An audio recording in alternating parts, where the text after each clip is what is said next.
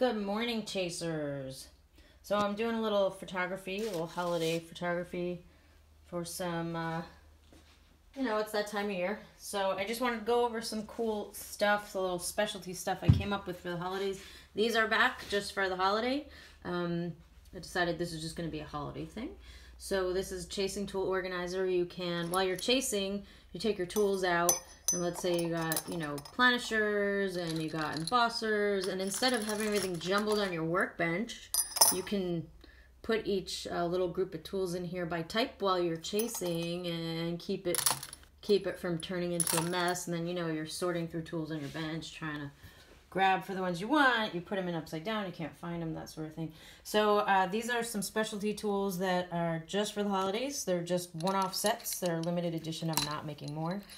These are two broad face tools, like really soft um, oval embosser. It will cover like a nice broad space, like if you're making a pendant and there's like a big kind of round area you need to emboss, um, it'll cover it real nicely.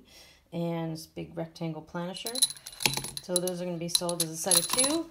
And then these little guys that are similar shapes, but they're um, kind of like modeling tools. They're just gently curved on top, so it's kind of like just a really shallow embosser, but they're really good for contouring, you know, leaves and just different shapes. You can also emboss from the back.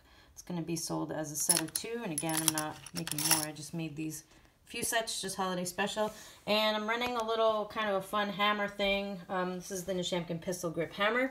Sells for 189. I'm not going to apologize for that price. We make uh, all these in-house here in Nechamkin Silver Studios um, in New Jersey. The head is machined at a precision machine shop. It's CNC milled um, out of 440C stainless steel, hardened up to 58 Rockwell, which is really hard. Um, and handles are all hand-shaped here. High skilled labor. Again, right in New Jersey, nothing sent offshore, and everything's assembled here. So what I'm doing is uh, I have one of these left. It's a titanium nitrided A2 tool steel head. I ran a bunch of these and have this one left over. And what I'm going to do is, um, that's not a crack, it's just a dark spot, I just noticed. Um, just going to randomly give that to somebody that orders a hammer this Christmas season. So if you're the lucky winner of the gold hammerhead, you know, maybe just post it. Um, so just a fun thing, kind of like the Willy Wonka golden ticket, I guess tour of Nechamkin Silver Studios. I don't know. So this is Nechamkin medium green chaser's pitch. It is green. It looks black in this video. So it's kind of army green. It's a really nice medium grade pitch. Sold in five pound bags.